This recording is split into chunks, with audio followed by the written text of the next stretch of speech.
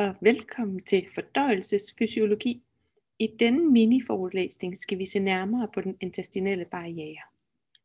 Som I kan huske fra en tidligere forelæsning, så er tarmvæggen bygget op på en lignende måde langs hele gastrointestinalkanalen. I denne mini-forelæsning skal vi se lidt nærmere på mukosaen og de celler, som vi finder der. Tarmens epitel består af krypter, som der er optimeret for absorption, beskyttelse og immunfunktion. Den består af et enkelt cellelag mellem lumen og kroppen. Der findes forskellige celletyper med specifikke funktioner. Der er tight junctions mellem celler, som der kontrollerer permeabiliteten. Der findes også mukus og andre sekretioner, som der beskytter mod skade. Tarmens epitel regenereres ofte, og vi får næsten en ny mukosa hver uge.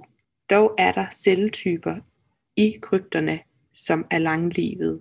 Hvis vi går ind og ser nærmere på de cellefunktioner, som der findes i tarmens krypter eller epitel, så har vi, at der findes gobletceller eller mukusproducerende celler, som der frisætter mukus ud i lumen for at beskytte. Vi har epitelceller, som er vigtige for absorption og sekretion. Vi har endokrine celler, og der findes en lang række type af endokrine celler. Vi har panetceller, som der producerer antibakterielle substanser. Vi har også immunceller og stamceller. Imellem cellerne findes der tight junctions. Det er proteinkomplekser, som der findes mellem vores epitelceller, som der kontrollerer permeabiliteten. Et proteinkompleks består af claudiner, occludiner, junction adhesion molecules og zona occludens. occludens. Jeg har lavet en skematisk opsætning, hvor at vi har vores lumen, så findes der et mukuslag, som vi skal se nærmere på, og så har vi vores celler i den intestinale barriere. Under det har vi vores lamina propria, hvor at jeg her har forsøgt at indtegne forskellige immunceller, som vi også skal se nærmere på. Og der kan vi se, at de tight junctions, som der findes, er med til at kontrollere den paracellulære transport. Og man skal huske, at en paracellulær transport er jo både fra lumen og ind, og fra kroppen og ud. Som jeg nævnte på det tidligere slide, så har vi et beskyttende mukuslag i tarmen. Det er en polymernetværk, som der beskytter og lubrikerer vores tarmoverflade. I tyndtarmen har vi et mukuslag, som er mere løst og gennemtrængeligt. I kolon har vi et todelt mukuslag.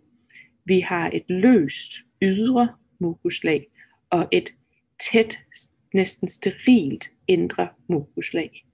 Og hvis vi ser nærmere på tyndtarmen her, så har vi vores lumen, hvor vi finder bakterielle substanser, men også vores nutrienter.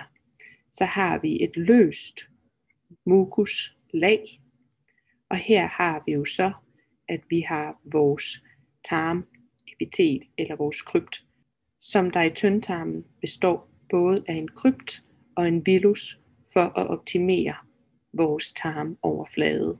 I kolon har vi et højere mikrobielt load, ligesom at gennemstrømning eller passagehastigheden i kolon er langsommere end i tyndtarmen. Tarmen er faktisk vores største masse af lymfoidvæv i det, som der kaldes gut associated lymphoid tissues eller GALT. Det består af både B og T lymfocytter, makrofager, mastceller og dendritiske celler. Og det er jo for, at tarmen er konstant udsat for fremmede antigener, både via vores mad, men også af det mikrobielle load, som der findes. Tarmens immunceller opretholder og sikrer adekvat svar. For eksempel har vi dendritiske celler i lamina propria, som regulerer tarmens adaptive immunrespons. Og det skal vi se nærmere på i vores næste slide. For her går vi ind og ser nærmere. Vi har altså vores luminelle miljø, hvor vi har mikrobielle substanser eller toksiner eller andet fra vores mad. Så har vi vores mukuslag. Vi har vores epitelceller, som der jo både kan være vores absorptive epitelceller, men vi har jo også andre typer celler i tarmbarrieren. Mellem dem har vi tight junctions, og så finder vi, at vi har i vores lamina propria, finder vi både mastceller, vi finder dendritiske celler, vi finder T-celler, makrofager, plasmaceller, som der er med til at patruljere, kan man sige, vores intestinelle barriere. At have en funktionel intestinel barriere er vigtig. Hvis vi får problemer enten med tight junctions, mucusfunktionen eller immunsensitiviteten, kan vi få problemer. Og det kan lede til for eksempel inflammatoriske tarmsygdomme, allergier eller intolerancer til ernæringsemner eller mikrobiel dysbiose, som der kan lede til IBS.